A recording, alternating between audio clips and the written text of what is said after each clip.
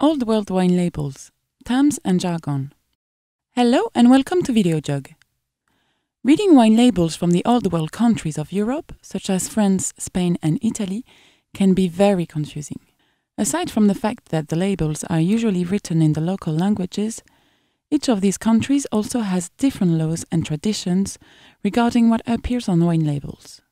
So, VideoJug has put together this guide to reading and understanding the terms found on Old World wine labels. Step 1 Types of wine. There are several different categories for Old World wines. There is table wine, country wine, and wine with controlled appellation. The wines are categorized by how closely they stick to local wine laws and so are not always an indicator of quality. Table wine is the most basic of these. In France, it's called vin de table, in Italy, Vino de Tavola, in Germany, Tafelwein, and in Spain, Vino de Mesa. The next step up is regional wine. This applies to wines made from grapes grown in a specific region, but that don't necessarily adhere to the specifications of that region's wine laws. In France, it's called vin de pays, in Italy, IGT, which stands for Indicazione Geografica Tipica. In Spain, it's called Vino de la Tierra, in Germany, Qualitätswein, Bestimmter Anbaugebiete, or QBA. Germany also has Qualitätswein mit Prädikat, which means quality wine with distinction. This is a slightly superior wine, but still a regional one. And then there are controlled appellation wines. These are wines that are made in the manner set out by the region's wine laws and tend to be the more famous regional wines like Burgundy, Bordeaux, or Chianti.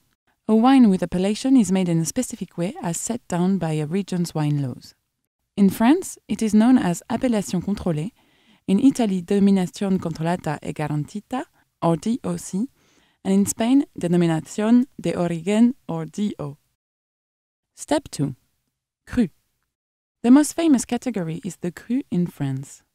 Cru is the French word for growth and refers to vineyards of especially high quality in a particular region. In Bordeaux, there are a handful of first growth Château Lafite, Latour, Margaux, Haut-Brion, Mouton Rothschild, Cheval Blanc, Ausone, and d'Yquem. These are the finest wines in Bordeaux. There are also second, third, fourth, and fifth growth, which are still very good wines and very expensive, but of slightly lesser quality than the first growth. There is also, in descending order of quality, Cru Bourgeois Exceptionnel, Cru Bourgeois Supérieur, and Cru Bourgeois. Elsewhere in France, there are two main distinctions that is, Grand Cru and Premier Cru.